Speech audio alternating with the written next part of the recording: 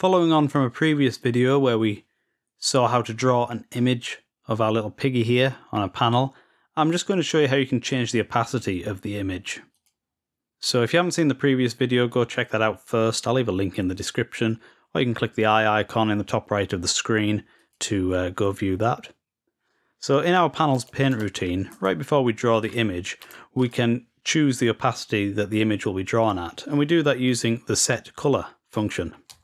So g dot set color, and then in the parentheses we can put a color like colors dot white, for example. Uh, but to set the opacity, we actually need to use colors dot with alpha. So we're going to set with alpha, and then in here we put the color, colors dot white, and then we give an opacity value. So if we put an opacity of 1, that's going to be fully opaque. I'll hit F5. We won't see any change, but anything less than 1 is going to add more and more transparency. So if we set this to 0.5, and now I'll hit F5, and we can see that our little piggy is more transparent. We can set this even lower, down to 0.1 or 0.01. Very slightly still there. So that's that's it really. That's how you set the opacity of your image. Just set the color before you draw the image. And the actual color you choose doesn't matter. We can put red there if we wanted to.